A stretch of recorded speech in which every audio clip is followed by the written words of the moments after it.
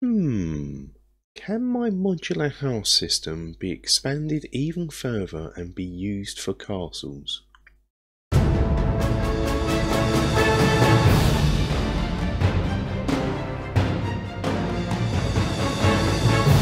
Hello and welcome to the Battlin' Barrow and another crafty crafting video. Uh, yeah, I've been making modular houses and expanding upon the concept, but now I want to see if it can be used for other types of buildings. Um, in time, maybe a full castle, but for now I'm going to start small and just build a tower. Uh, a square tower, and I'm going to attempt a um, circular stairwell to uh, add to it, so it's going to be two bits of modularity in one. Uh, again, this is for Night's Dark Terror, what sparked this, for the uh, Sukiskyn farmstead.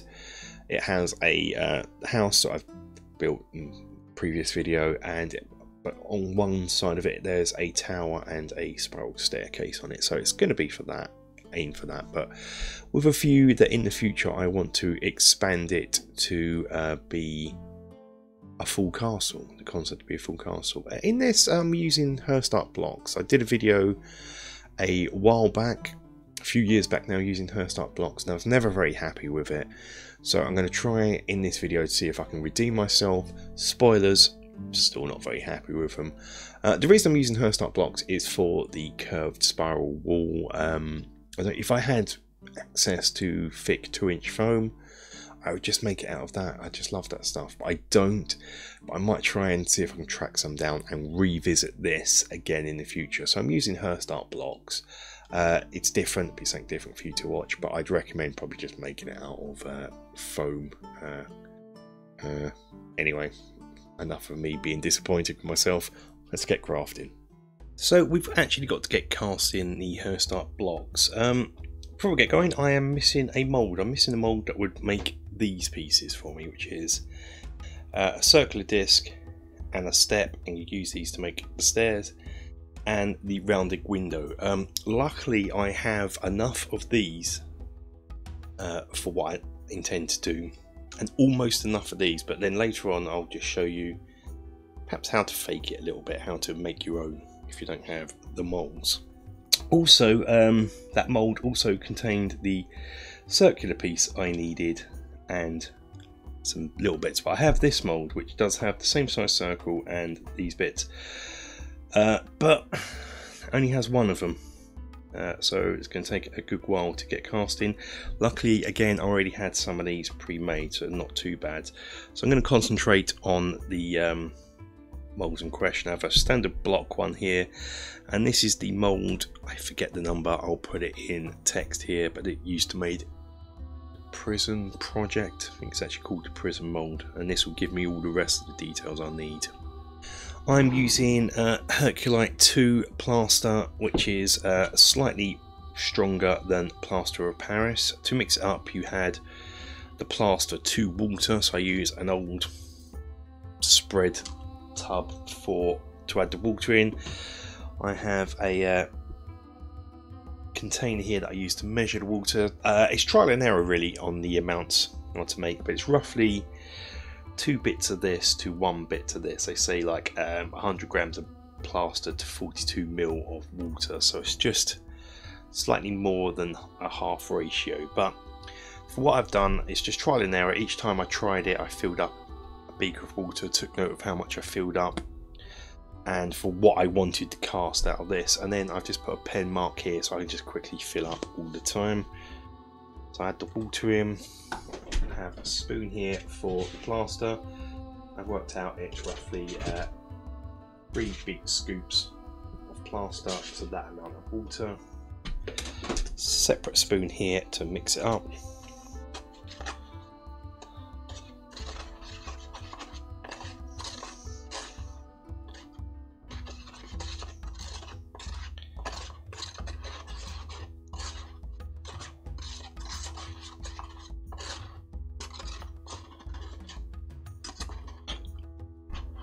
want is a uh, somewhat thick consistency like if you're if you're a cook you're making some sort of pancake batter I guess consistency and then I shall use the spoon to help me pour it where I want it, want it to go.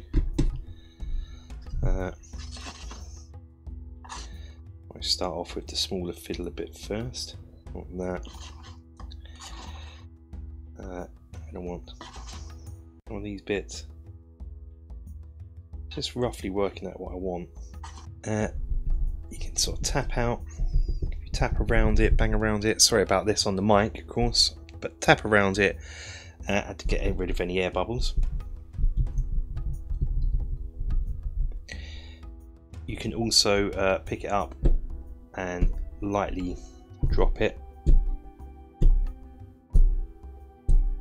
You see, getting rid of air bubbles. And then coming with a bit card and just use it to even it out and so you get a nice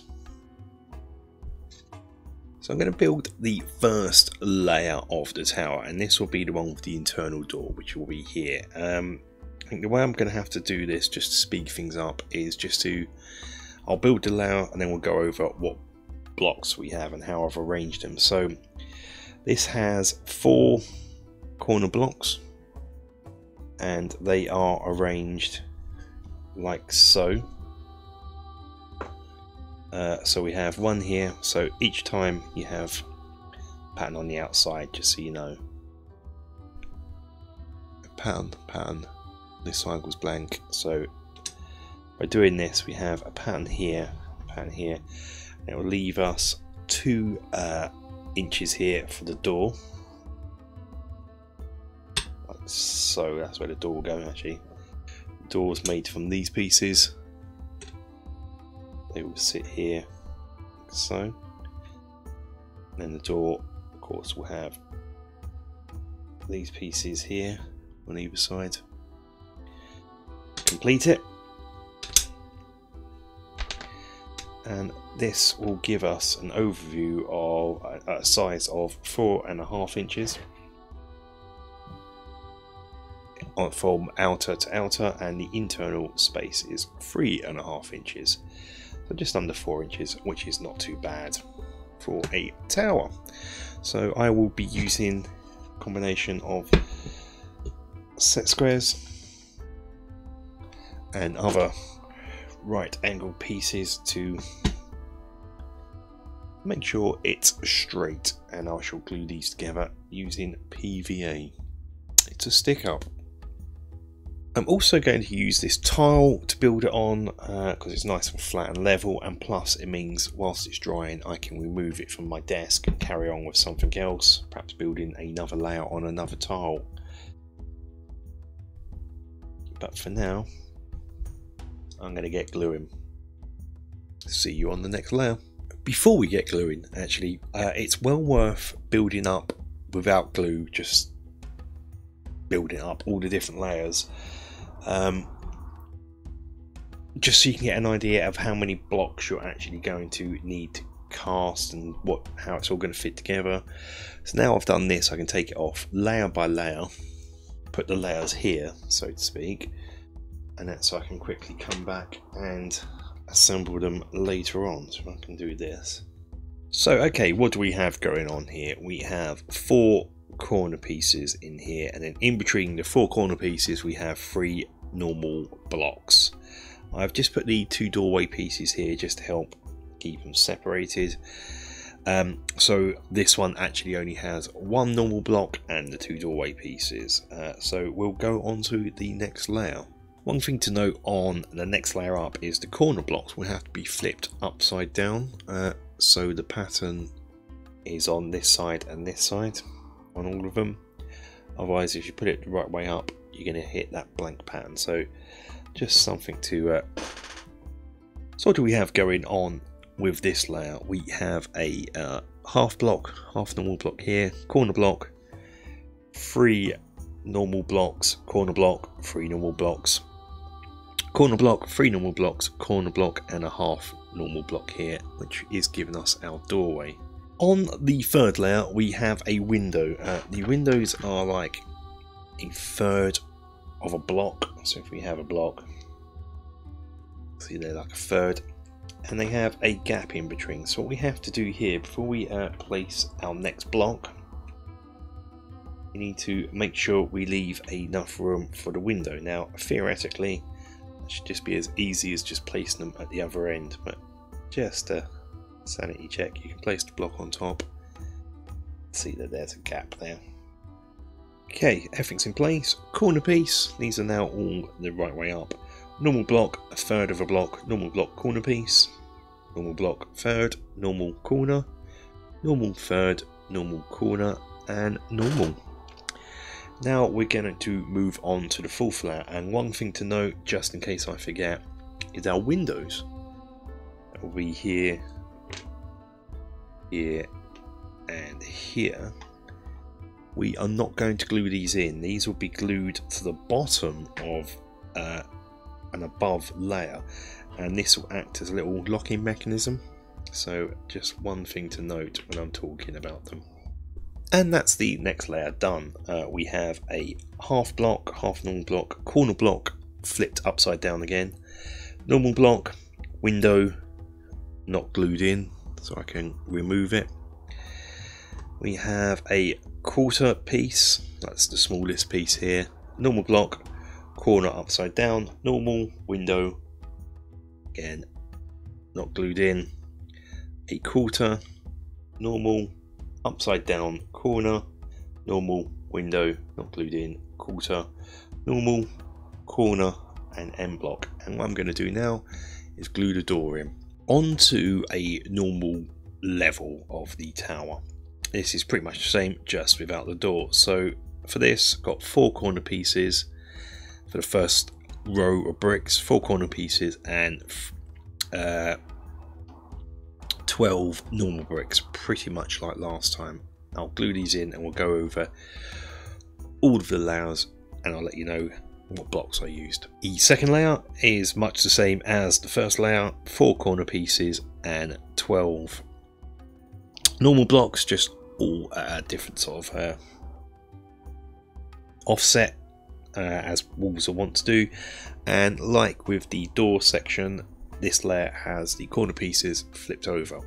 The next layer is the window layer and I'm building this assuming the doorway is here because these block order needs to be the same as the um, door level.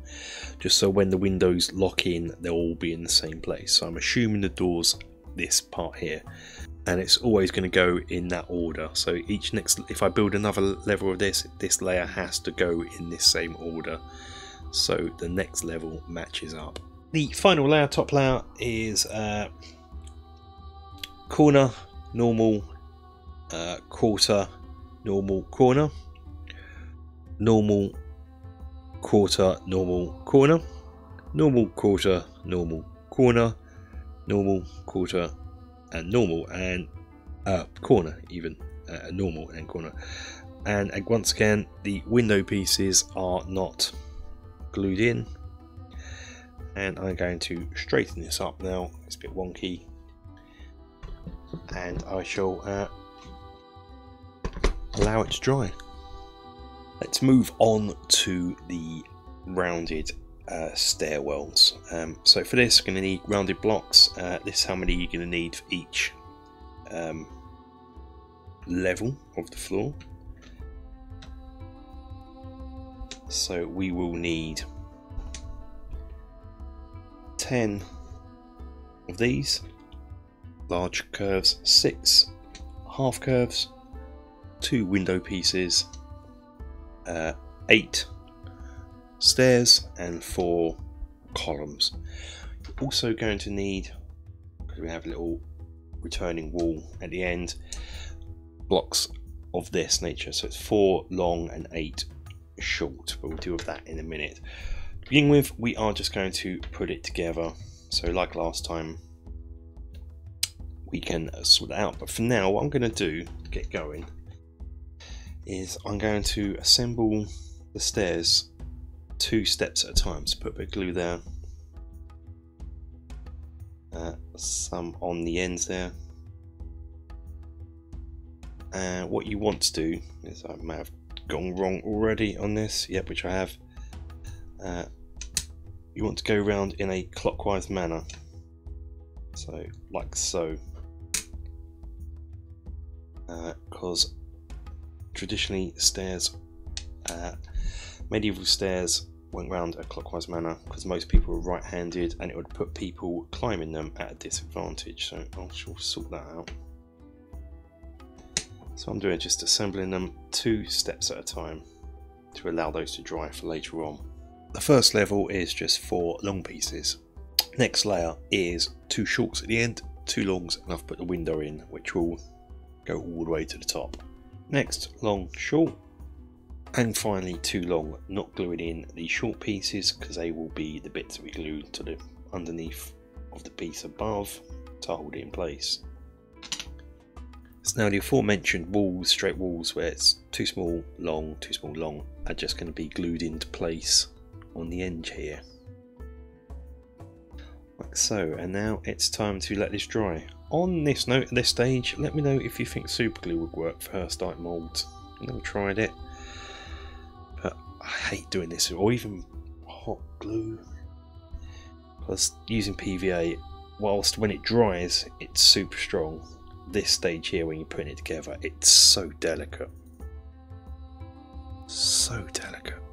It's now time to put a floor in here and due to my wonkiness of using the Hirst Arts blocks these aren't perfectly square unfortunately the easy way the easiest way I found to do this is just turn it upside down and put it onto a bit of foam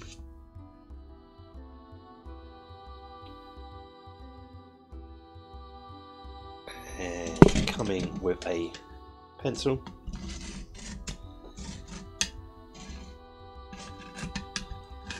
So put a little arrow there so I know the direction. And then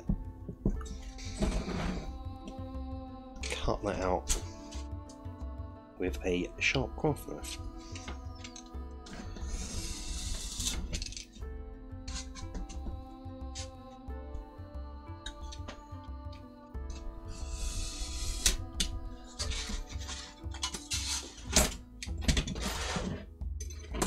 Might be some trimming and whatnot to be done but if you're lucky like I am here fitting first time put a wood grain pattern onto it like the modular houses and glue it in place.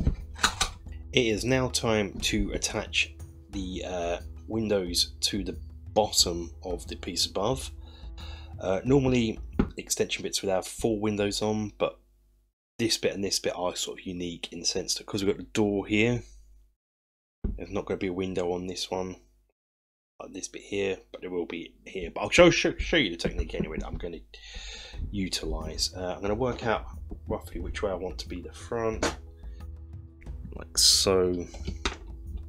And what I'm going to do is use super glue on the window. Going to one one window at a time to make it easier, use super glue. Hopefully you can see what I'm going to be doing here. Put it on in place. I want it and then just lift the window up to the uh, piece. And then take it off and hold it in until it dries. Repeat that for each of the windows. Okay, so I'm going to make a top uh, battlement area with uh, machicolations and crenellations and what have you. Um, so for this, I've just made a piece that's uh, made exactly the same as how we've done it before. Except It's just two rows, and then what I'm going to do is I'm going to glue these third pieces on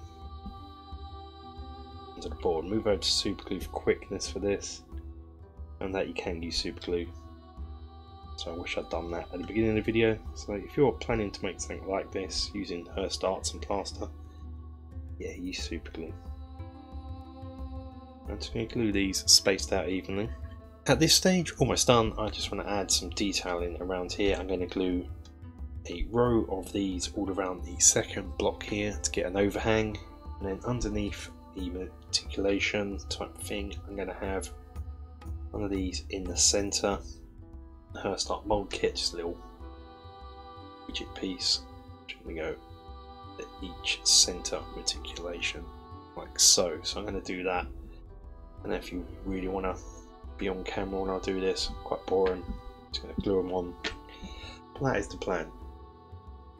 For the crenellation part of the circular tower, have two long bits straight at the end and then four long bendy bits.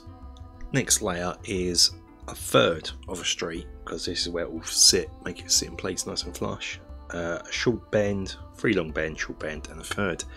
And then what we're going to do now is just add some crenellations at the top in much the same way as I have done before. Like so, and they'll go here, here, and with that, that's the, uh, crenellations done. Um, because I won't be able to add in the details like I've done to the front of the other one along here because those pieces don't exist. I might revisit this in a future date and cut them out of foam, but for now I'm going to leave it at this stage. So what I've done uh, now is I've um, covered it in black Mod Podge. This is uh, quite a good step for Hirst Arts blocks as uh, Hirst Arts plaster blocks when you plaster Paris is quite porous and Mod Podge being a sealant it will seal them in to make the painting easier. It also help glue it together, being it's a glue and fill in all the gaps in between where the mortar would be. And I'm now just in the process of uh, doing a heavy dry brush and overbrush, if you like, of a mid grey. At this stage, the uh, wood area can be painted a brown. This is burnt umber brown and now a dry brush of tan to really bring out the detail and sort of the whole point while we're using the Hirst Arts blocks. And the tan can also be dry brushed across the wood. And the final stage is a wash. This is my usual homemade wash nothing special. Uh, dirty paint water uh, black ink, and a bit of dishwasher soap just in there just to give it a bit of flow. And it was at this stage I realised I didn't like Hirst Arts finish, so we're going to address this again in the future in a different uh, video. But I definitely didn't like the paintwork. Um, I normally just do it my sort of walls are this grey, but really I live near castles and none of them are this grey colour. They're more a light tan beige colour, as you can see from the pictures here. So I'm going to repaint it. I'm going to paint over it in burnt umber. Then I'm going to come in with this coastline tan and I'm going to do a heavy dry brush of this.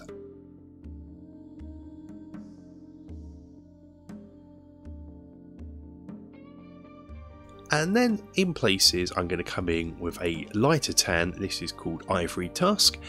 And in certain place splotches, a uh, sort of really, really light grey come in. This is called Urban Grey. And I'm going to dry brush that in patches. And with this, I'm much more happy with the finish. Um, really happy with it, in fact. The actual paintwork, I'll probably paint a lot more of my castles in this colour. I may even revisit Rochester Castle and paint that. Um, I haven't uh, done a wash. I didn't think it needed it, but who knows, in the future I may come back to it. But that's it for this video. Um, as I said, I'm probably going to revisit the modular tower I've made out of foam at some point when I can get hold of it in the UK. Uh, want to take time to uh, thank you for watching this one, even though I'm not happy with it. Until the next video where hopefully I will be happy with the uh, project in that one. Stay safe and take care.